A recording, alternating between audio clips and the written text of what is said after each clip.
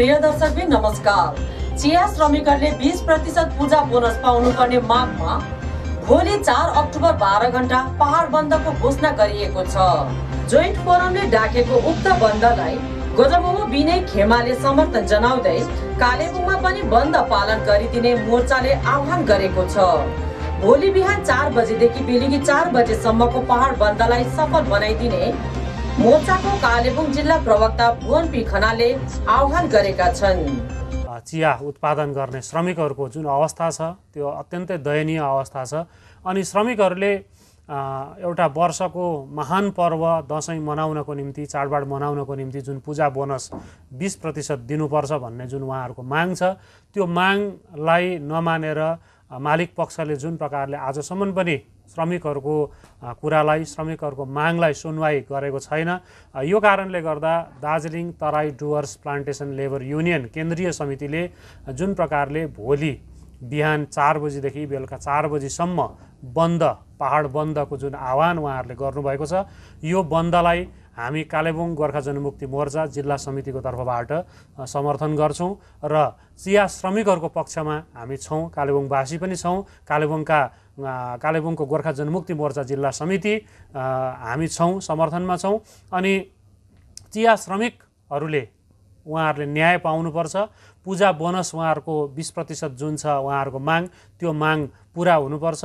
अनि चिया श्रमिकहरूको जुन अधिकार छ त्यो अधिकारको निम्ति मालिक पक्षले यथाशीघ्र सुनवाई गरिदिनुपर्छ भन्ने माग गर्दै भोलि कालेबुङमा पनि सम्पूर्ण व्यापारिक प्रतिष्ठानहरू गाडी घोडाहरू सबै बन्द राखिदिने हामी निवेदन गर्दछौँ र यसको निम्ति जुन दार्जिलिङ तराई डुवर्स प्लान्टेसन लेबर युनियनले जम्मै सङ्गठनहरूसित बसेर उहाँहरूले चर्चा परिचर्चा गरेर चालक महासङ्घ व्यापारी सङ्गठनहरूसँग पनि बसेर उहाँहरूले बातचित गरिसक्नु भएको छ र कालेबुङमा पनि कालेबुङका सम्पूर्ण व्यापारिक प्रतिष्ठानहरूलाई चालक महासङ्घका प्रतिनिधिहरूलाई सम्पूर्ण चालक दाजुभाइहरूलाई होटल व्यवसायीहरूलाई सबै सबैलाई हामी निवेदन गर्छौँ यो श्रमिकहरूको हितको निम्ति हो श्रमिकहरूको सुरक्षाको निम्ति हो अनि श्रमिकहरूको एउटा जीवनको निम्ति हो उहाँहरूले जुन एउटा एउटा पूजाको बेला पनि उहाँहरूलाई जुन एउटा दुःखको एउटा समय आइरहेको छ र यो बखतमा यो दुःखको बखत बखतमा हामी श्रमिकहरूको पक्षमा उभिएर भोलिको बन्दलाई तपाईँहरू सबै सबैले सफल पारिदिन हुन हामी निवेदन गर्दछौँ। कालेबुङका चालक दाजुभाइहरू होटल व्यवसायहरू व्यापारिक प्रतिष्ठानका सम्पूर्ण प्रतिनिधिहरू सबै सबैलाई हामी अति आदरका साथ तपाईँहरूलाई विनम्रतापूर्वक आग्रह गर्दछौँ। यो एउटा श्रमजीवीहरूको हितको निम्ति राखिएको बन्द हो। यो कुनै राजनीतिक स्वार्थको निम्ति गरिएको बन्द होइन र तपाईँहरूले यसलाई आत्ममन्थन गरेर आत्मचिन्तन गरेर तपाईँहरूले भोलिको बन्द बिहान चार बजीदेखि बेलुका चार बजीसम्म चाहिँ बाह्र घन्टाको बन्द चाहिँ सफल गरिदिन हुन हामी अनुरोध गर्दछौँ। र यसको निम्ति विशेष गरेर अहिले हामीलाई त्यस्तो कुनै गाइडलाइन आएको छैन। तथापि हामी प्रेसलाई अनि एम्बुलेन्सलाई र आपतकालीन सेवाहरू जुन जुन छ अग्निशमन विभागहरू भयो आपतकालीन सेवाहरूको निम्ति छुट दिएको छ। र अन्य वाहनहरूलाई चाहिँ चलाचल बन्द गरिदिने आग्रह गरिएको छ केन्द्रीय समितिको पक्षबाट र हजुर। होइन त्यस्तो केही हुँदैन। त्यो हाम्रो जनताले कालेबुङवासीले आफै आफ बुझ्नुपर्छ। किनभने यो कुनै राजनीतिक पार्टीले आफ्नो स्वार्थ पुरा गर्नको निम्ति डाकेको बन्द होइन। यो श्रमिकहरूको हितको निम्ति हो र श्रमिकहरूको हितको निम्ति डाकिएको बन्द भएको कारणले गर्दा श्रमजीवीहरूलाई तपाईँहरूले सम्मान गरेर आफै आफ बन्द गरिदिन हुन अनुरोध गर्दछौँ र हामी विशेष गरेर पहाडमा आएका पर्यटकहरूलाई भोलि एक दिन जुन पर्न गएको असुविधाको निम्ति खेद प्रकट गर्दछौँ। चालक दाजुभाइहरू लगायत सम्पूर्ण यात्री महानुभावहरू जो जो पनि बाहिरबाट आउनुभएको छ तपाईँहरूलाई पर्न गएको एक दिने जुन असुविधा छ यसको निम्ति हामी खेद प्रकट गर्दछौँ। यो एउटा बाध्यता पर्यो र यो बन्द डाकिएको छ र यसको निम्ति हाम्रो कालेबुङ केन्द्रीय समितिले डाकेको बन्दमा कालेबुङ जिल्ला समिति का सबै भातृ सङ्गठन सबै सबैको पक्षबाट हामी समर्थन गर्छौँ। यता दार्जिलिङमा आजबाट रिले भोग हडताल पनि सुरु गरेको छ। विभिन्न राजनीतिक दलका श्रमिक संगठनका एघारजना शीर्ष नेताहरू भोग हडताल बसेका छन्। भोग हडतालमा बस्ने श्रमिक नेताहरू क्रमैले पूर्व सांसद Saman Pathak Amar Lama NB Khawas Sunil Rai JB Tamang Bharat Thakuri Dhiraj Rai SK Lama RC Giri Deepak Pradhan Bhuwan Chhetri Regina Rai लगायत अन्य सामेल रहेका छन्। हामी संयुक्त मोर्चा पाहाडको सातवटा ट्रेड युनियनले संयुक्त मोर्चाको तर्फबाट राखिएको यो भोक हडताल अनुसार तपाईँलाई केही कुरा मिडियाको तर्फबाट सारा जिल्लाभरि प्रकाश गरिदिनुहोस् भन्ने घोषणा गर्न चाहन्छु। सिधै मुद्दामै जाँदैछु म फाल्टु कुरा गर्दिनँ। भोलि बिहान चार बजीदेखि लिएर बेलुका चार बजीसम्म गाडी घोडा पसल सबै नै पहाडी क्षेत्रमा यहाँ दार्जिलिङ मात्रै नभएर खरसाङ सुनद कालिम्पोङ मिरिक बिजनबारी सबै नै ठप्प बन्द गर्ने हामीले आह्वान गरेको छौँ र यसमा सम्पूर्ण चालक दाजुभाइहरूले र साथसाथै पथ पसलेहरूले सबैले यो कुरोमा बाह्र घन्टा भनौँ बाह्र घन्टा मद्दत पुऱ्याइदिनुहुन्छ होला भन्ने हामी अनुरोध गर्दछौँ। साथसाथै आवश्यक सेवाहरू चाहिँ हामीले यो बन्दबाट छुटमा राखेका छौँ। जस्तो दुध भयो कोही मरौ होला कसैको बिहा होला कसैको के होला इत्यादि यो आवश्यक कुरोलाई चाहिँ छुट राखेर अन्य सबै भोलि बाह्र घन्टा बन्द। यही आह्वान तपाईँहरूले चारैतिर गरिदिनुहोस् भन्ने आज टोटल जम्मा कतिजना चाहिँ अनसनमा बसेको छ? कुन कुन पार्टीबाट। नेसनल हाइवे के हुन्छ? सिक्किम टु सिलगढी। सुरज भाइ सिक्किम टु सिलगढी चल्छ गाडी। स्कुल- स्कुललाई के गर्नु चाहिँ? स्कुल स्कुल बन्द। हजुर। सरकारी अफिसहरू के हुन्छ दिदी स्कुल होइन सरकारी अफिसर सब क्लोज बन्द। School colleges? सबै बन्द। सुन्नुहोस् न। बगान सबै बन्द। यो बन्दले त मालिक वर्गलाई त कुनै असर त पर्दैन तर पब्लिकलाई नै असर पर्छ। यो त खास मालिकलाई पर्छ। मालिक स्कुलको इक्जाम्सहरू हुँदैछ होइन? त्योलाई के गर्नुहुन्छ तपाईँले? मैले भनिहालेँ आवश्यक चिजलाई छुट दिनुपर्छ। जुन स्कुलमा बोर्डिङमा बस्नेहरूको इक्जाम चल्दैछ त्यो बोर्डिङ भइहाल्यो। तर कसैले अब गाडीमा लान्छ नि त ट्रान्सपोर्ट स्कुलको इक्जाम छ भनेर। तर उसले साँचो यहाँ कार्ड लगाएको हुनुपर्छ इक्जामै हो भने दिन्छौँ। स्कुल मात्रै हो भने दिँदैन।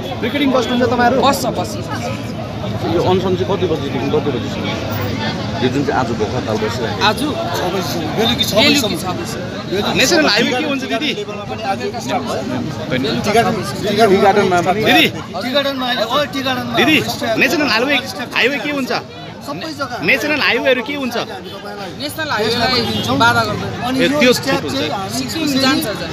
नेसनल हाइवे छुट्छ तपाईँहरूको?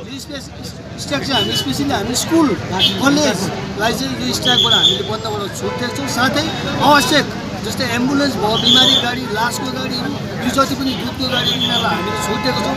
बाँकी सबै सबैलाई हामी केही मर्का पर्छ होला तर पनि यो चिया श्रमिकहरूले बोनस अगाडि पाउने आफ्नो अधिकारको लागि यसो लडाइँ लड्नु पर्दाखेरि सबैलाई यो आह्वान गरेको हो।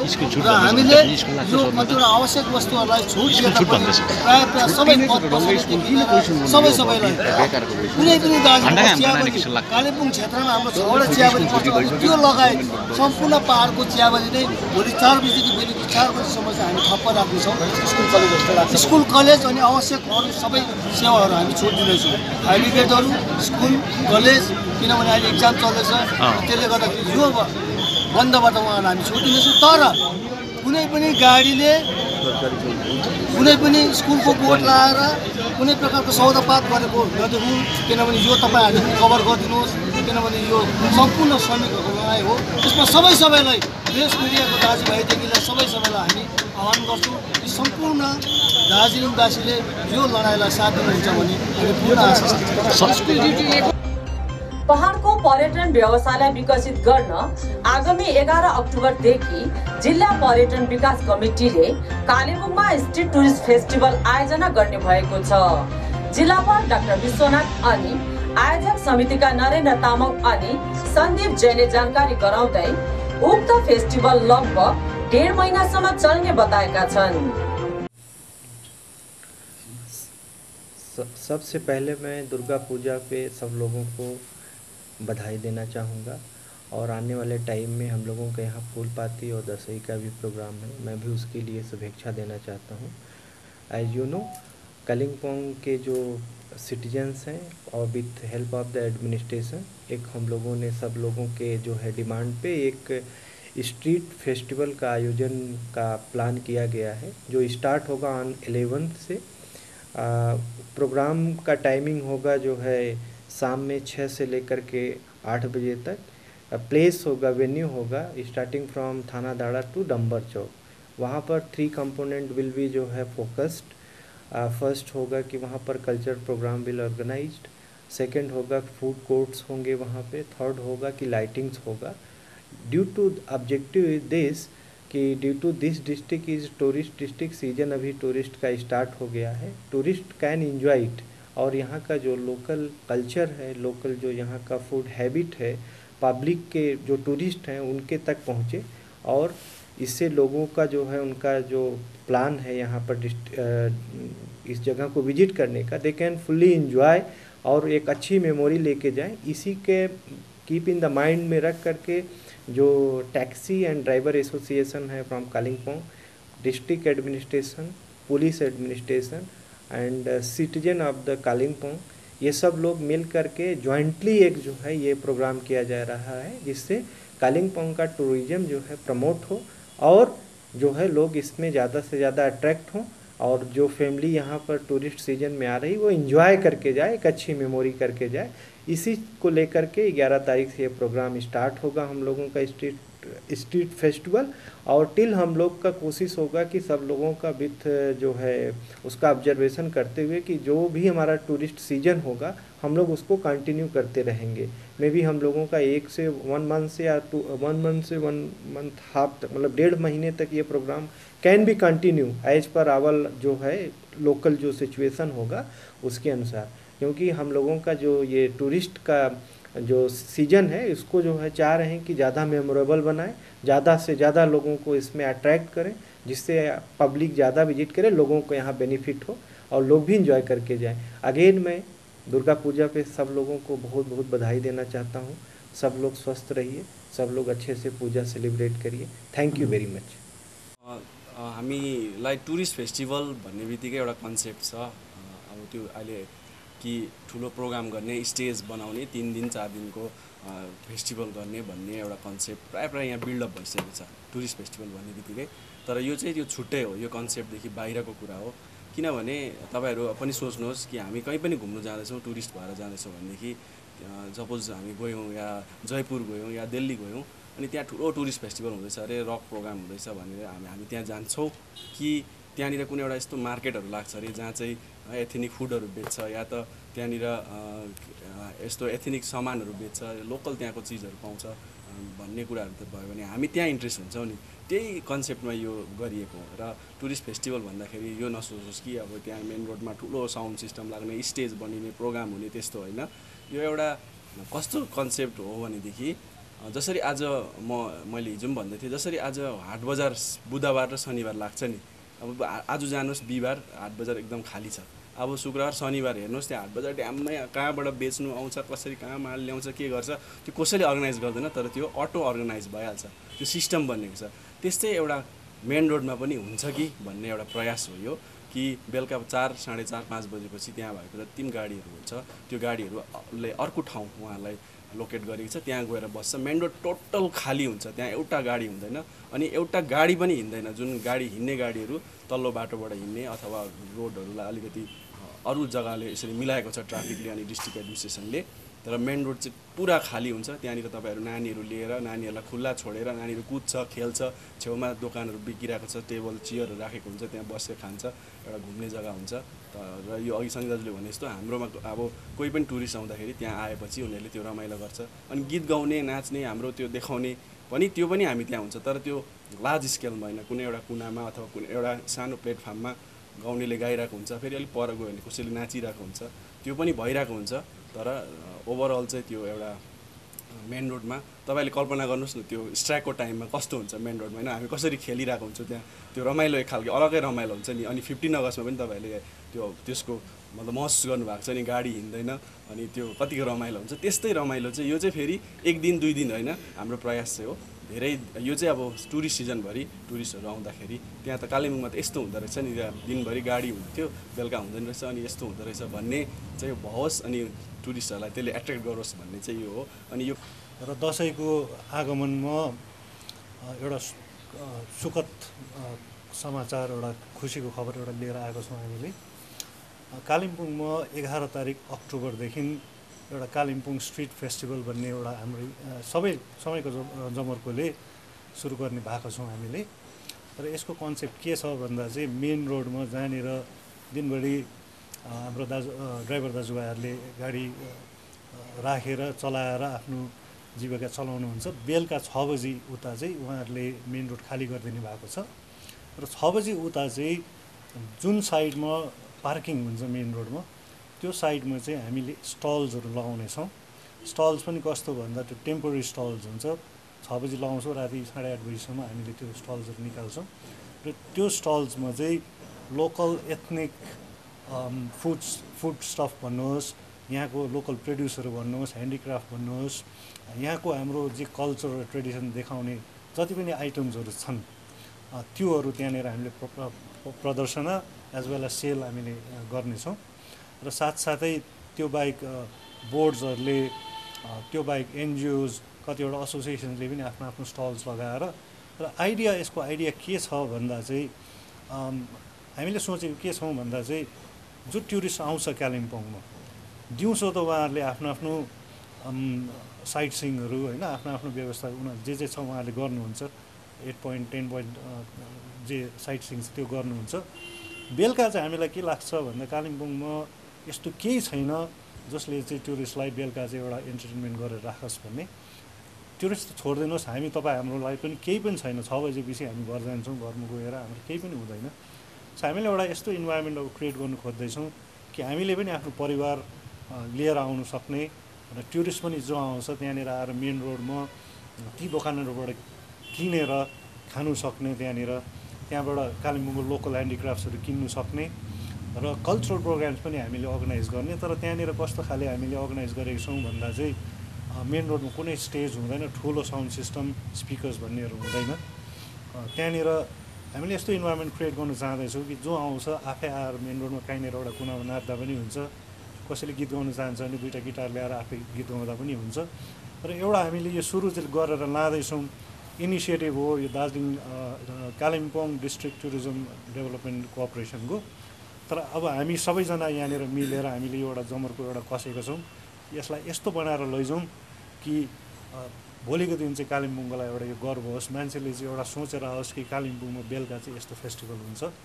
र यस विषयमा अझ डिटेल्सहरू मसँग अरू यो फेस्टिभलमा लागेर मसँगै काम गर्नेहरू अरू हुनुहुन्छ। उहाँहरूले पनि दिनुहुनेछ। संयुक्त माध्यमिक शिक्षक कल्याण संगठनको आयोजनामा एनआरसी बारे जानकारी गराउन एउटा कार्यक्रम सम्पन्न गरिएको छ। कुमुदिनी विद्या आश्रमको हलमा सम्पन्न गरिएको उक्त कार्यक्रममा अल आसाम गोर्खा स्टुडेन्ट युनियनका अध्यक्ष गोपाल तामाङ विशेष रूपले उपस्थित रहेका थिए। कार्यक्रममा विभिन्न विद्यालयका शिक्षक शिक्षिका वर्ग लगायत विद्यार्थीहरूको उपस्थिति रहेको थियो। यता कार्यक्रमबारे आयोजक समितिका अध्यक्ष सिबी गुरुङले कार्यक्रम गर्नुको औचित्यबारे जानकारी गराएका छन्। जुन चाहिँ एनआरसी जुन चाहिँ लागू भयो प्रक्रिया चलिराखेको छ यो विषय लिएर हामीले पनि यहाँ हाम्रो वेस्ट बेङ्गलमा पनि लागू हुन्छ भन्ने कुरा जुन चाहिँ एउटा हामीमाथि एउटा एउटा कालो बादल छाइराखेको हामीले पनि अनुभव गऱ्यौँ र यो हाम्रो सेकेन्डरी टिचर्स अर्गनाइजेसन संयुक्त माध्यमिक शिक्षक कल्याण सङ्गठनले यो हाम्रो दोस्रो कार्यक्रम हो आज चाहिँ। पहिलो अस्ति हामी डिएमलाई डिएमलाई हामी प्रत्येक ब्लकमा बिडिओलाई हामीले संयुक्त माध्यमिक तर्फबाट उहाँहरूलाई डेपुटेसन पनि दियौँ। र हामीले त्यति बेला पनि भनेको थियौँ एनआरसीको विरोध हाम्रो होइन। र एनआरसीको जुन चाहिँ प्रक्रिया छ जुन कुराहरू छ उनीहरूको क्राइटेरियाहरू छ जुन क्राइटेरिया गर्दाखेरि चाहिँ हामीलाई चाहिँ सायदै हामी भारतीय गोर्खाहरूलाई चाहिँ ठुलो क्षतिमा पर्छौँ भनेर चाहिँ हामीले त्यति बेला पनि डिएम साहबलाई र भारत सरकारलाई बङ्गाल सरकारलाई हामीले त्यति बेला पनि हाम्रो जुन चाहिँ मनको जुन चाहिँ गुनासो थियो त्यो हामीले पोखाएको थियौँ। र आज चाहिँ तिन तारिक है दसैँको अब एकदम मुखैमा भए पनि स्कुलहरू प्रायः छुट्टी भए तापनि यो समयलाई केही समयलाई निकालेर आज चाहिँ हामीले क्लास टुवेल्भको विशेष कालिम्पोङ डिस्ट्रिक्टको हायर सेकेन्ड्री लेभलको जति नानीहरू छ दस दसजना गरेर त्यो नानीहरू र टिचर्स र सिनियर सिटिजन र जति पनि एनआरसी विषय लिएर सुन्न चाहने बुझ्न चाहने हामी जस्तो बिचमा परेको है जसले चाहिँ यो एनआरसी विषय लिएर एउटा छुट एउटा अलग्गै यसको एकदम परिभाषा नै बुझ्नु नसकेको जति पनि व्यक्तिहरू थियो यो विषयहरूलाई चाहिँ हामीले एउटा जागरुक गर्नको निम्ति चाहिँ विभिन्न ठाउँहरूबाट यसको रिसोर्स पर्सनहरू ल्याएर वक्ताहरू ल्याएर चाहिँ यो विषय लिएर चाहिँ हामीले जनतालाई अवेरनेस गराउने प्रोग्राम गरेको। विगत वर्षहरू चाहिँ यस वर्ष पनि गोर्खा संस्कृति संस्थानले विभिन्न क्षेत्रबाट समाजलाई योगदान पुर्याउने व्यक्तित्वहरूलाई सम्बर्धना जनाउने भएको छ। यसका साथै संस्थानले फुलपाती शोभायात्रा भव्य रूपमा पालन गरिने अनि सबैलाई उपस्थित भइदिने आह्वान संस्थानकी सचिव ज्योति कार्कीले गरेकी छन्। र हाम्रो प्रत्येक वर्ष झैँ जुन चाहिँ हामीले फुलपातीमा चाहिँ हामीले कालिम्पोङमा विशेष गरी कालिम्पोङलाई केही योगदान गरेको व्यक्तित्वहरूलाई हामीले माको आशीर्वाद दिने गर्छौँ। र यसपालि पनि हामीले त्यो निश्चय निश्चय गरिसकेको छौँ। र हाम्रो योपालिको माको जुन चाहिँ यो हामीले जुन चाहिँ यो आशीर्वाद चाहिँ हामीले यसपालि चाहिँ तपाईँहरूकै साथी है गोर्खा च्यानल जो कालिम्पोङमा हाम्रो सन्ध्या प्रधान अनि रत्न रतन गुरुङ दुईजनाले अहिले चलाइरहेको छ र उहाँहरूलाई हामीले यसपालि सम्मान गर्ने हामीले यो मिलाएको छौँ। सँगसँगै त्यसरी नै हामीले सञ्जय प्रधान है उहाँ चाहिँ जो म्युनिसिपालिटीमा सेनिटरी इन्सपेक्टर हुनुहुन्छ है उहाँलाई चाहिँ तपाईँहरूले यसरी याद गर्नु भइसकेको होला प्रायः जस्तोले कि बिहान तिन बजी चार बजी उठेर त्यो दाजुले जहिले पनि यहाँनिर हाम्रो कालिम्पोङको सफाइमा उसले आफ्नो खटिरहेको देख्छौँ। हुनु त उहाँले तलब पाउनुहुन्छ तर तलब बाहेक पनि अलिकति आफ्नो एउटा सेन्स अफ बिलोङ्गिङ राखेर उहाँले काम गरेकोले गर्दा चाहिँ हामीले चाहिँ सन्ध्या के अरे उहाँलाई पनि सञ्जय प्रधान उहाँलाई पनि हामीले चाहिँ सम्मान गर्ने हामीले यहाँनिर सोच राखेको छौँ। र त्यसरी नै हामीले क्लबहरूमा चाहिँ इमोसन क्लबलाई चाहिँ हामीले योपालि उनीहरूलाई पनि हामीले एउटा माको आशीर्वाद दिने चाहिँ सोचेको कारण चाहिँ के हो भने चाहिँ इमोसन क्लबले चाहिँ पहिला चाहिँ उनीहरूले यहाँनिर धुमधाम जातिको पहिलो वैशाखी पनि उहाँहरूले मनाउँथ्यो। अनि सँगसँगै यो जिएनएलएफको यो टाइममा अलिकति त्यति बेला चाहिँ छ्यासीको बेलामा सायद यहाँनिर कतिवटा कारणले गर्दा चाहिँ त्यति बेला यहाँ समितिले यो फुलपाती शोभायात्राहरू ननिकाल्दा पनि इमोसन क्लब नै अगाडि आएर चाहिँ लगातार उनीहरूले पनि तिन साल पुऱ्याएपछि चाहिँ उनीहरूले पनि सायद उनीहरूलाई पनि रियलाइजेसन पनि भयो होला। त्यसले गर्दा पनि अनि धेरै सिचुएसनले गर्दा चाहिँ उनीहरूले चाहिँ अब चाहिँ हामी सक्दैनौँ र अब चाहिँ फेरि गोर्खा सांस्कृतिक संरक्षण समितिले नै अहिले ज्योति दिदी तपाईँहरू पनि आउनु भएको छ। त्यसले गर्दाखेरि चाहिँ अब तपाईँहरूले पनि यो जिम्मा लिनुपर्छ भनेर चाहिँ फेरि गोर्खा सांस्कृतिक संरक्षण समिति हामीले चाहिँ यो फेरि परम्परा सुरु गरेको थियौँ। र त्यसले गर्दा चाहिँ जुनै पनि गरेको चिजलाई चाहिँ हामीले देखाउनु चाहिँ सक्नुपर्छ। हाम्रो चाहिँ नेचर कस्तो छ भने चाहिँ अर्काले केही राम्रो काम गर्दैछ भने चाहिँ हामी तान्नेछौँ तर यो पनि एउटा हो हामीले एक्सेप्ट गर्नुपर्छ कि एउटा सानो क्लब छ। तर पनि त्यो क्लब सबै एकजुट भएर चाहिँ उनीहरूले जातिको लागि यत्रो गरेको थियो। र त्यही हेतुले नै हामीले योपालि उनीहरूलाई पनि माको आशीर्वाद दिने चाहिँ हामीले सोचिरहेको छौँ। र त्यसरी नै हाम्रो अहिले घडी चाहिँ हाम्रो त्यो फिक्स चाहिँ भएको छैन किनभने उहाँ डक्टर्स एउटा डक्टर हुनुहुन्छ उहाँको नाम चाहिँ डक्टर अनिर्बन रोय।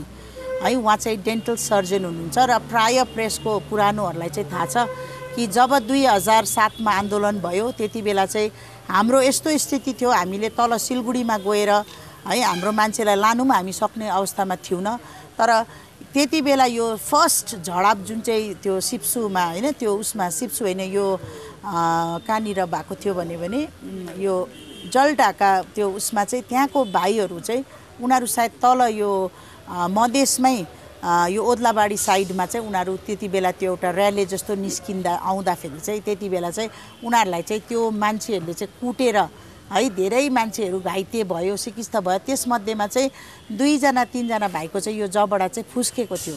र यदि चाहिँ ट्वे टुवेल्भ आवर्सभित्रमा चाहिँ त्यो जबडाको ट्रिटमेन्ट नभएको भए चाहिँ त्यो मान्छेहरू चाहिँ आँखो आ मुख आँखो आँ हुन्थ्यो अरे। र त्यो सिचुएसनमा लानु नसकेको तल कालिम्पोङबाट यहाँ सिलगढी र त्यो अवस्थामा चाहिँ त्यति बेला तलको डक्टर्सहरू पनि आउनु मानेन माथि। तर त्यो सिचुएसनमा हामीलाई यो डक्टर अनिर्वन रोय उहाँले पाहाडलाई पुरा माया गर्नुहुन्छ र उहाँले चाहिँ उहाँले त्यति बेला कुनै पोलिटिकल अर्गनाइजेसन अथवा कोही मलाई ठुलो मान्छेले बोलायो भने म आउनु सक्दिनँ कि उनीहरू पनि बाँच्नुपर्छ।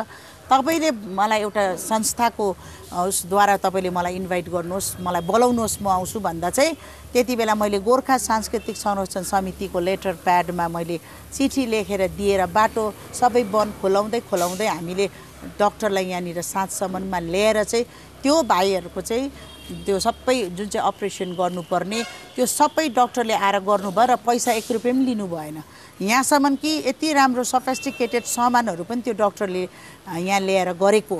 र उहाँ बङ्गाली नै भयो भने पनि एउटा हामीले हाम्रो बरुभन्दा आफ्नो मान्छे आउनु मानेन त्यति बेला डक्टर तर उहाँ आइदिएको।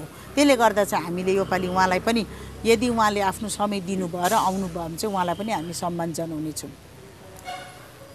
अनि त्यसरी नै अनि त्यसरी नै अब हेर्नुहोस् यो जुन चाहिँ टी गार्डनहरूको अहिले अचानक यो जुन चाहिँ अब हुनु त यो पहिल्यैदेखि चलिआएको हो तर अहिले चाहिँ कुन चाहिँ उनीहरू यस्तो मोडमा आइरहेको छ कि उनीहरू चाहिँ अहिले आमरण अनसन बस्ने है कोही अनसन रिले अनसन बसिरहेको छ त्यसले गर्दाखेरि चाहिँ अब उनीहरू दुःखी छ भने चाहिँ हामी चाहिँ रमाउनु सक्दैनौँ होइन? किनभने हामी एउटै हाम्रै सन्तान हो नि त।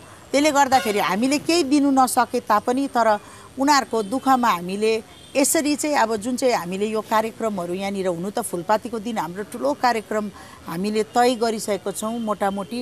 तर यदि उनीहरूको केही प्रब्लमहरू मिलेन भने भने चाहिँ अब सायदै हामीले पनि एउटा साधारण रूपमा है माको शोभायात्रा चाहिँ भव्यसँगले किनभने उहाँको आशीर्वादले उनीहरूलाई पनि पाउँछ ब्लेसिङ भनेर चाहिँ शोभायात्रा चाहिँ हामी एकदमै राम्रोसँगले निकाल्ने चाहिँ हामीले अलरेडी अठोट गरिसकेको छौँ।